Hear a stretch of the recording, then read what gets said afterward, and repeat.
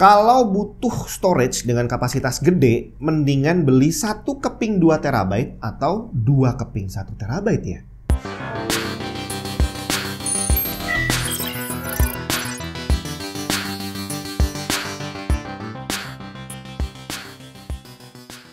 Buat yang lagi hunting komponen PC, bisa coba mampir ke tokonya Tech and Tips. Scan aja barcode ini atau klik link yang ada di deskripsi, terus cek katalognya. Ada beberapa komponen mantan review, ada yang baru, ada merchandise Tech and Tips, dan mau ngerakit PC juga bisa sekalian di sana. Konsultasi gratis, bre. Sebenarnya kalau harga yang 2 terabyte itu lebih murah daripada kita beli yang 2 keping 1 tera, iya nggak usah ditanya, mending beli yang 2 tera sekalian aja kalau memang butuh kapasitas yang lebih besar. Tapi kondisinya sekarang nggak seperti itu. Kalau kita beli yang 2 terabyte, itu secara harga kurang lebih hampir dua kali lipat persis dari harga yang satu terabyte. Jadi akhirnya kalau kita mau milih apakah satu keping yang gede atau dua keping yang kecil, secara budget duit yang akan kita keluarkan itu kurang lebih sama, bre. Nah, tinggal mana yang perlu kita pilih karena masing-masing pilihan nanti akan punya plus dan minusnya sendiri. Hari ini akan kita coba lihat ya secara harga dan secara performance. Ini kita praktekin pakai Kingston. Ini Kingston NV3 PCI Express 4.0 NVMe. Di mana yang 1 tera harganya sekitar 1,1 jutaan, sedangkan yang 2 tera harganya di kisaran 2,2 jutaan.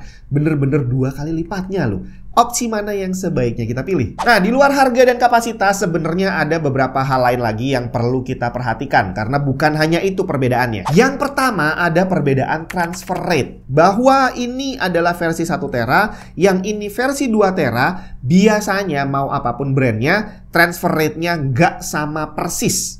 Jadi untuk yang kapasitas lebih besar, umumnya akan punya transfer rate yang sedikit lebih tinggi. Contohnya Kingston NV3 ini ada beberapa kapasitas yang ditawarkan, 500 GB, 1 TB, 2 TB, dan 4 TB, di mana masing-masing punya transfer rate yang berbeda. 500 GB tertulis di spek punya read write 5000 dan 3000 MB per second. 1 tera 6000 dan 4000 MB per second, sedangkan 2 dan 4 TB 6000 dan 5000 MB per second. Jadi kalau kita butuh untuk mem memaksimalkan transfer rate berarti beli yang kapasitasnya lebih besar satu keping itu akan lebih menguntungkan karena tadi transfer speednya lebih tinggi. Kalau kita bandingin antara yang 2 tera dengan 1 tera kurang lebih seperti ini. Pada Disk Mark, sequential read dan write baik pada Q8 maupun Q1 kedua SSD ini punya transfer rate yang hampir sama. Terlihat 2 terabyte sedikit lebih kencang tapi selisihnya tidak terlalu banyak. Random 4K hasilnya juga kurang lebih sama, perbedaan keduanya tidak terlalu jauh tapi di sini dalam kondisi tertentu 1 terabyte terlihat lebih kencang tapi dalam kondisi lainnya 2 terabyte yang terlihat sedikit lebih kencang. Pada 4K IOPS tesnya di luar dugaan saya nih hasilnya karena 1 terabyte justru terlihat 30%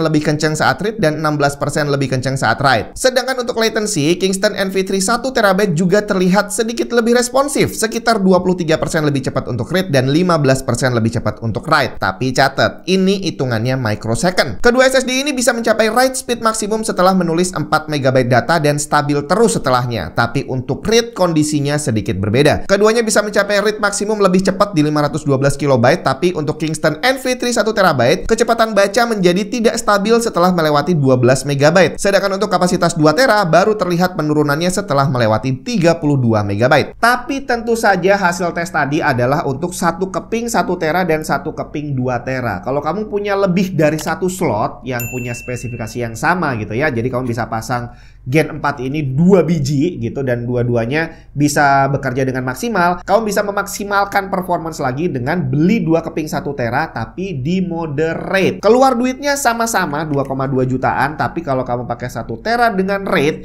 itu secara performance bisa meningkat hampir dua kali lipat. Tapi tentu saja tidak segampang pasang yang 2 tera bre. Kalau kamu pakai rate itu yang pertama butuh setting khusus. Kamu nggak bisa tinggal colok dan langsung jalan. Harus nyeting rate-nya dulu. Termasuk komplikasi yang mungkin muncul. Kalau kamu pakai mode rate dan salah satunya rusak, nah ini troubleshootnya nggak gampang bre. Jadi silahkan dipertimbangkan mana yang lebih baik untuk kebutuhan kamu. Untuk rate-nya sendiri udah pernah saya bahas di sini. Selanjutnya adalah usia, daya tahan SSD-nya secara spesifikasi bukan secara nasib ya. Jadi kalau dari speknya itu biasanya tertulis TBW, terabytes written, berapa banyak data yang bisa diisikan ke dalam sebuah SSD. Di mana umumnya kapasitas yang lebih besar akan punya terabyte yang lebih besar lagi. Jadi secara teori umurnya akan lebih panjang. Pada Kingston NV3 ini ternyata selisih TBW antara kapasitas kecil dan yang di atasnya itu dua kali lipat. Dari spek 500 GB TBW-nya cuma 160 tera, sedangkan yang 1 terabyte dua kalinya berarti 320 tera. Untuk kapasitas 2 tera, dua kali lipatnya lagi 640 tera dan kapasitas terbesar 4 terabyte TBW-nya dua kali lipatnya lagi di 1280 terabyte. Tapi angka TBW tadi adalah angka teoritis bahwa dengan asumsi SSD-nya dipakai sampai mencapai angka tadi itu nggak mati gitu ya. Tapi pada prakteknya SSD mati itu nggak nunggu TBW-nya penuh jadi lagi dipakai tiga bulan, dipakai satu tahun, satu setengah tahun, langsung mati sendiri tanpa alasan yang jelas. Dan itu adalah usia berdasarkan nasib yang tidak bisa diukur. Nah, tinggal kalau kita bicara tentang kerusakan, ini adalah resiko berikutnya lagi yang perlu kamu pertimbangkan. Dua keping 1 terabyte itu berarti kamu punya dua SSD. Jadi kalau sampai rusak, kemungkinan rusak dua-duanya bersamaan itu kecil, Bre. Jadi kalau sampai rusak salah satu, at least data kamu tidak hilang semuanya. Masih ada separuh yang sehat, yang mati cuma satu aja. Tapi kalau kamu beli kapasitas gede satu keping, Ya itu tadi resikonya. Kalau sampai rusak, ya udah datanya hilang semua. Karena SSD ini nggak seperti hard disk gitu ya, yang masih dengan gampang bisa di recover datanya. Kalau SSD ini susah bre. Kalau datanya udah hilang, terhapus atau SSD-nya rusak, ya hampir bisa dipastikan datanya juga ikutan hilang. Selanjutnya soal memaksimalkan kapasitas. Walaupun dibilang bahwa ini adalah 2 terabyte dan yang satu kalau dikali dua adalah 2 terabyte juga, tapi pada prakteknya tidak seperti itu. Jadi kalau kita pakai dua keping 1 terabyte tera dan kita asumsikan bahwa dua-duanya hampir penuh, masing-masing sisa 100 GB gitu ya. Dan kita butuh nyimpen data 150 GB. Mau ditaruh mana, Bre? Memang benar bahwa kalau di total kita masih punya ruang kosong 200 GB, tapi terbagi di dua tempat 100 dan 100. Akhirnya kalau kita punya data 150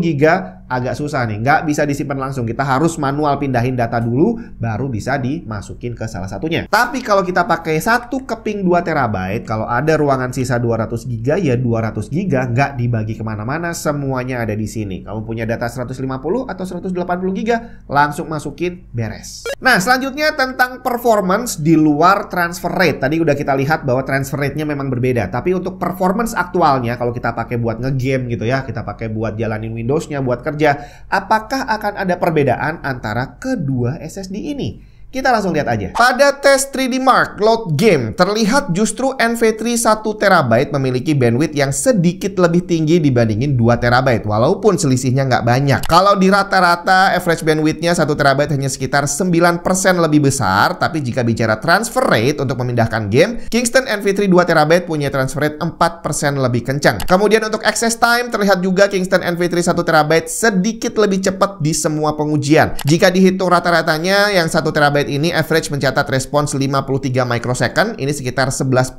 lebih responsif dibandingin 2 tera yang mencatat respons 59 microsecond. Tapi saat memindahkan data, akses time NV3 2 terabyte sedikit lebih cepat. Kemudian untuk mindahin data aktual, saya tes dengan memindahkan satu game folder yang berisi campuran file besar dan kecil berukuran total 85 GB. Di sini Kingston NV3 2 tera terlihat jauh lebih kencang. Transfer rate average-nya mencapai 3000 MB per second lebih dikit dibandingin 1 terabyte yang nggak sampai 2600 MB per second. Hasilnya transfer data jadi jauh lebih cepat pada Kingston NV3 2 terabyte di mana mengcopy folder 85 GB tadi bisa diselesaikan dalam waktu 29 detik, sedangkan NV3 1 terabyte butuh waktu 34 detik. Terakhir temperatur, kedua SSD ini mencatat temperatur maksimum yang kurang lebih sama di kisaran 61-62 derajat Celcius, tapi ini dalam kondisi terpasang heatsink bawaan motherboard yang lumayan tebal. Tidak disarankan menggunakan SSD ini tanpa pakai pakai heatsink karena panasnya pasti akan lebih tinggi lagi. Dan itu dia tadi plus minus beli SSD apakah satu keping yang kapasitasnya besar atau